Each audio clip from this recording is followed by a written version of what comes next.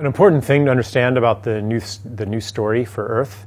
A few things. One is that it's maybe not new, it's new for a mass civilization, but it certainly has ancient roots in the world stories of indigenous people. Second thing to understand is that we do not create this story. It's not that a bunch of smart people get together and we say, okay, what's the new story going to be? Let's figure it out. Let's concoct the most beneficial news story. Because then, like, you start getting into arguments about what it's going to be. You know, is, does it, uh, is it going to be built on the blockchain? You know, is it going to be uh, nanotechnology? Is it going to be? I mean, there's all kinds of different versions of what the world should be. So I want to say right now, uh, I don't know what the new story is.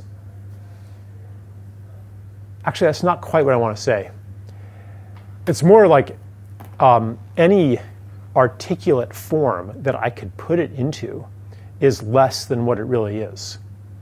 There's a, a knowing that I share with many people about what the new story is. I can recognize something as part of it.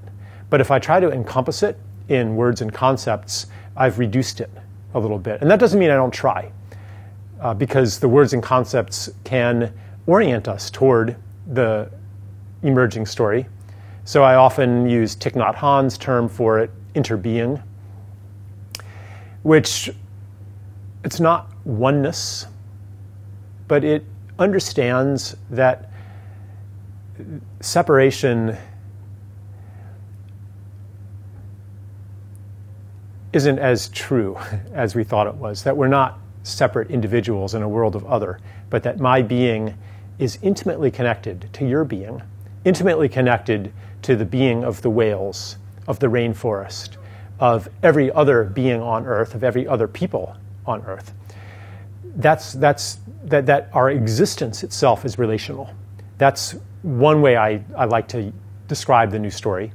As far as the relationship to the planet goes, you apply that and you understand oh, okay, what happens to the ecosphere uh, is important to ourselves as well. That our well being our thriving depends on the well being and thriving of the ecosystem. Even if we could come up with technological substitutes for every ecosystem service, even if we could build a concrete world with bubble cities and dispense with nature entirely and fulfill the dream of the old story, you can see it in the Jetsons, you know, the, the cartoon. That used to be a cultural reference everybody understood. Now I'm getting old. But, you know, it was like this futuristic supposed to be like a, a, positive view of the future where there's no living beings except for humans and their dog, and everybody lives in a bubble city served by robots. Uh, everything's artificial, everything's mechanical. Like that was the future, and that was considered um, inevitable. So, yeah, and so we understand that even if we could do that, that would be a hell and not a paradise that it's not about survival. So, interbeing then calls us into a partnership with nature, with the rest of life. It invites us to listen into what wants to happen next for us and for all beings. And to see the rest of life not as resources or providers of ecosystem services, but as collaborators and co creators in something. And we begin to ask, why are we here? If not to um, impose our design on the world and transcend nature, then, then what? Why are we here? What is our service? What are we meant to do with these tremendous gifts that we have? What's the, what, what is our calling here?